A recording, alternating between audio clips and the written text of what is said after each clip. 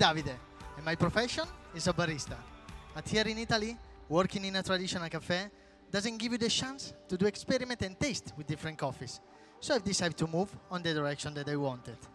And over two years now, I've been tasted many different coffees in order to escape from a routine, a traditional cafe experience, doing those at the same time, experiment with different methods. But over five months now, I'm focusing on controlling on the 4T. Temperature, time, TDS, and taste in order to achieve a desirable result.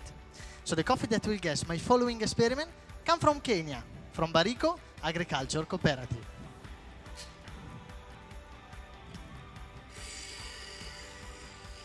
A specific project of 821 families that grow in the variety SL28, SL34, and Ryu Ryu 11, between 1700 to 1800 meter above the sea level.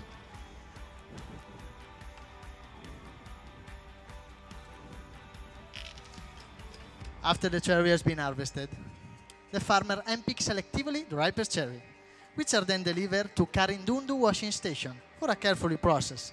In this specific washing station, remove the outer skin with 4D pulper, and after pulping, the coffee is double fermented in a period of washing and soaking in between.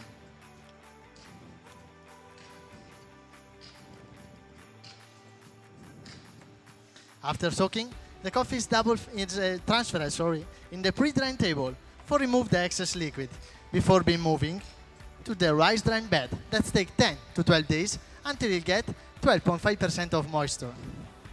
So today I will make the shot of my espresso and the signature drink with this new machine. That looks like a microwave, but it's not. It's a home chiller and help me to control the temperature of my ground coffee that have an effect on extraction time and following on the total dissolved solid that has been transferring on the final cup. It's a new way that improves 1.5% of TDS more of every coffee, and the result will get more body, tactile, flavors, and balancing the natural tropical acidity of this coffee in your cup. In fact, the blast chilling procedure is increasing the density of the solid component in my ground coffee, but in the same time, avoid the developing of the PAH, polycyclic aromatic hydrocarbon. As you can see in the graphic in front of you, we achieve a balanced extraction but with an higher TDS. So now we are ready. So take, take your time, relax, and then we go to prepare your espressos.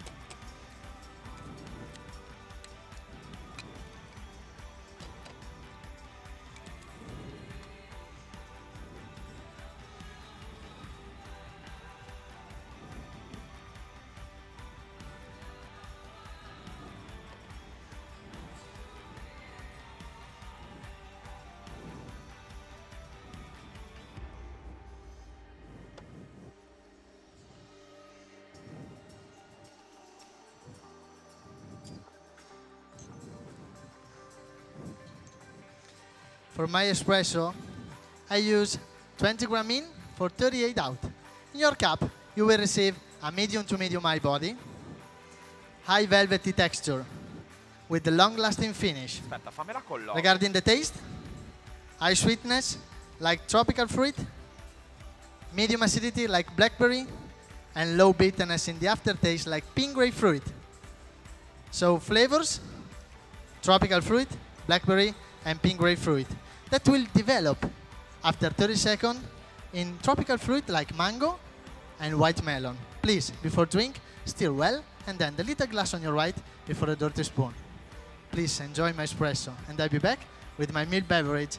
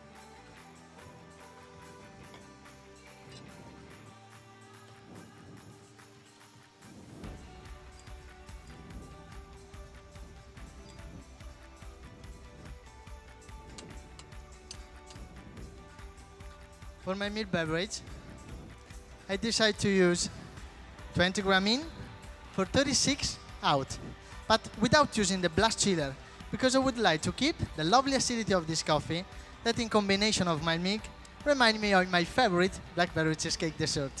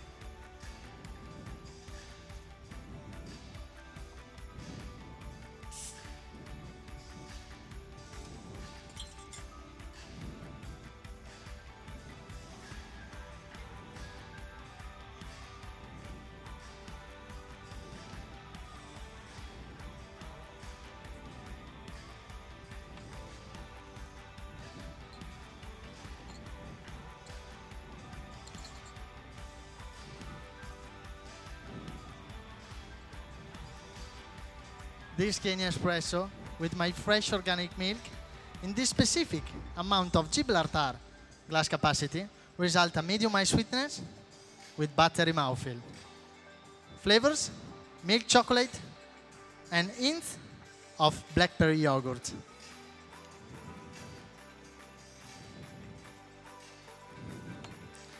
Please enjoy.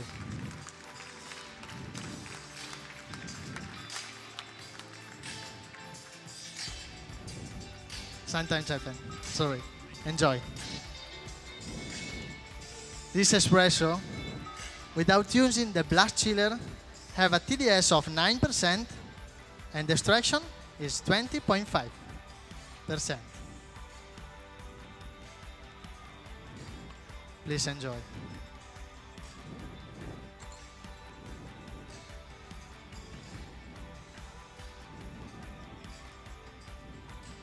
We roast this coffee 10 days ago with a rickshaw time of 10 minutes and 30 seconds with a 23.8% of development. And to avoid that risk of having an higher acidity, we decreasing the temperature of the drying phase but expanding the no-name phase. And in this way, we decreasing the acidity, but the flavors and the body rise up.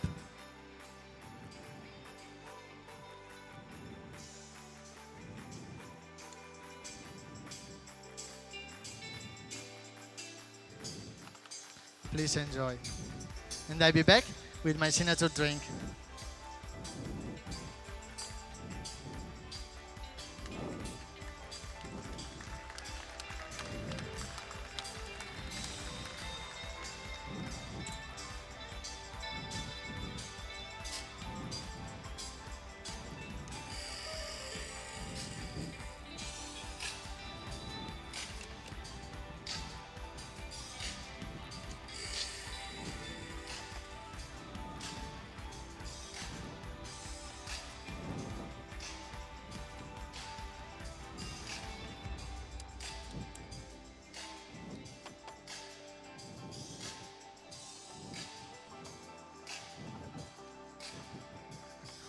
Cinque minuti.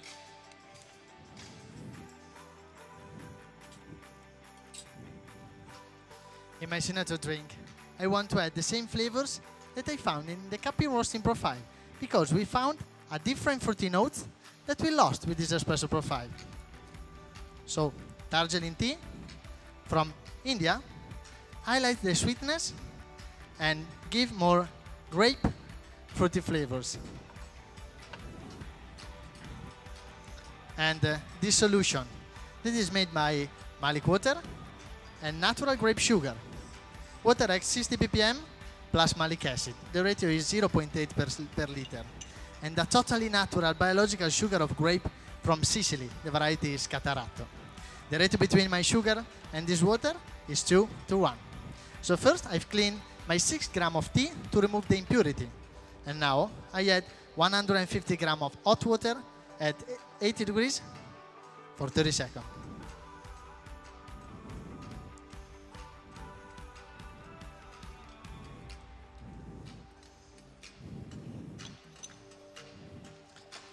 Second ingredient is my solution, 12.5 gram.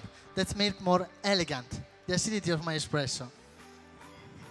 And now I filter 70 gram of my tea in this chilled decanter to remove, to sorry, to cool down the temperature and emphasize its aroma.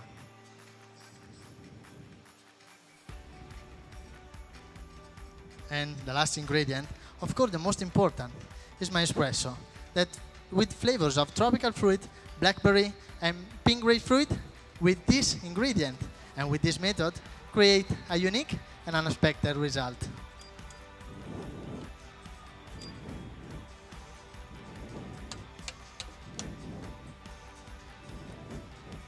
Tre minuti.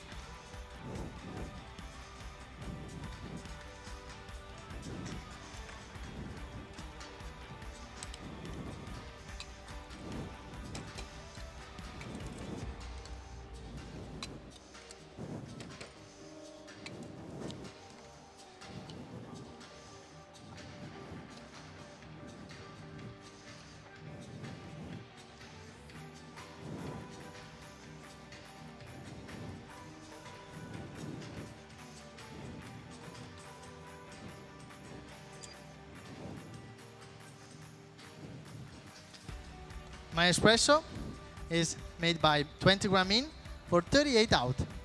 And I made my espresso in this chilled copper cup to bring the espresso temperature to the tea temperature.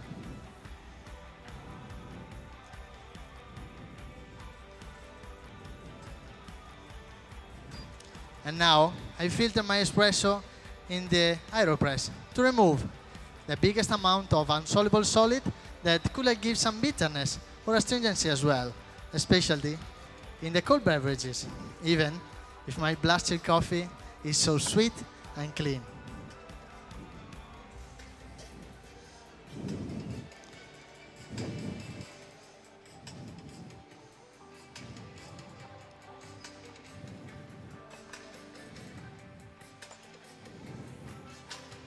So, with this ingredient and with this method, I create my signature drink that give more complexity to my coffee, but with the delicate and sweet flavors of grape that we develop after one minute in the totally coffee cascara flavors. So please, enjoy my drink with Un two, si- two sip, please.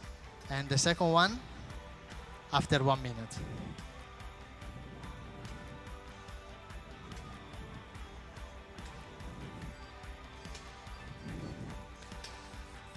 Please enjoy my signature drink.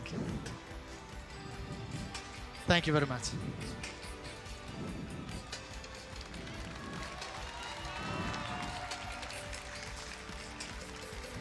Thank you very much. It's been part of my 4T control project. This is my time.